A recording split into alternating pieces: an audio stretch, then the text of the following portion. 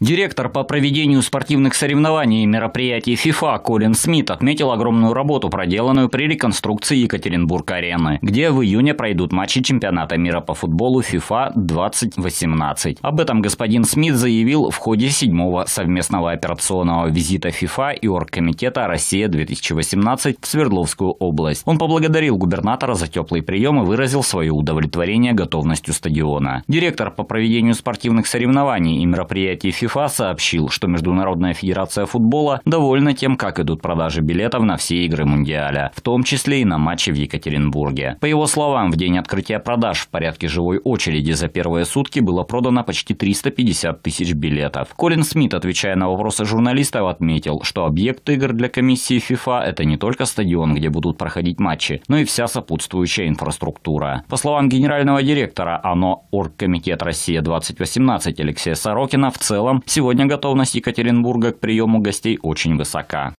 Мы можем отметить крайне высокую степень готовности города. Э, Евгений Владимирович уже сказал, что и транспортная, и гостиничная инфраструктура находятся в прекрасном состоянии, выполняют требования ФИФА. Э, в целом в Екатеринбурге пройдут э, необыкновенно интересные матчи, приедут очень яркие команды, Франция, Уругвай, Египет. Э, Мексика.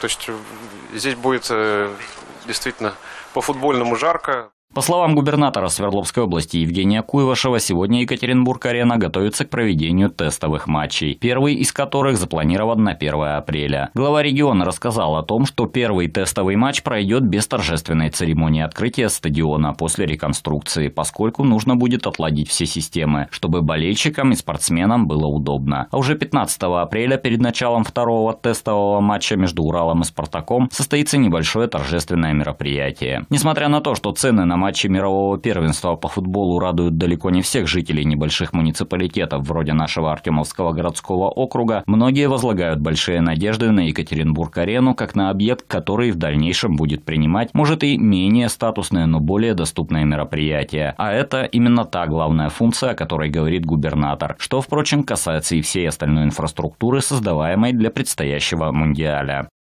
Этот стадион будет использован в том числе и для игр матчей чемпионата России, различных массовых мероприятий, спортивных мероприятий, детских, э, для всех возрастов. Безусловно, мы задействуем всю инфраструктуру, которая высвободится после проведения чемпионата э, мира.